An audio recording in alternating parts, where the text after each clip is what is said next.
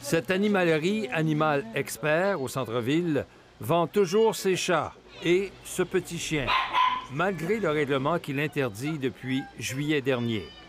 Ces animaux proviennent de fermes d'élevage et sont vaccinés, micropucés et inspectés par des vétérinaires, comme l'exige d'ailleurs le ministère de l'Agriculture, des Pêcheries et de l'Alimentation.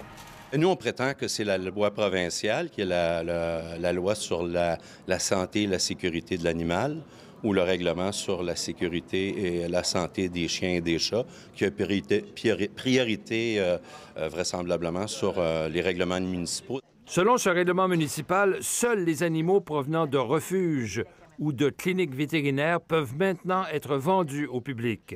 La Ville veut ainsi s'assurer du bien-être des animaux. Le règlement est toujours en vigueur malgré les procédures judiciaires en cours et la mairesse de Montréal entend le faire appliquer. Oui, il y a un règlement qui est en place. On ne peut pas, inter- on ne peut pas vendre, euh, on ne peut plus vendre de- de- d'animaux via les animaleries sur euh, le territoire de l'île de Montréal. Et oui, euh, les inspecteurs, ça fait partie de leur tâche. Ils ont plein d'autres choses à inspecter. Mais oui, nous avons l'intention d'appliquer le règlement.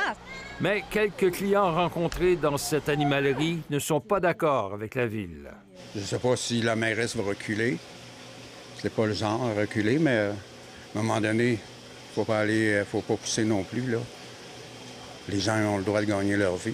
Nous, on, a- on est allé chercher notre chien dans une place n'y avait pas P1000, c'est-à-dire que les, animaux n'étaient pas super bien traités. Je pense que dans les animaleries en général, sont encore mieux traités que dans ces places-là. Donc, euh, je dirais que je suis pas tout à fait d'accord avec ça, non.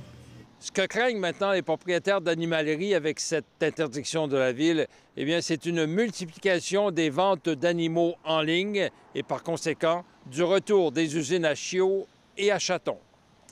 Ici Jacques Bissonnet, Radio-Canada, Montréal.